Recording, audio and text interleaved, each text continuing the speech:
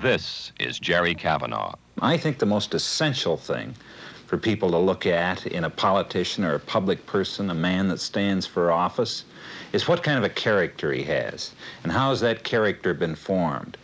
Well, I know how my character has been formed, both publicly and privately, through a degree of achievement, certainly through a degree of anguish. And out of both those things, I think I'm the man that I am today. On August 6th, vote for Jerry Cavanagh.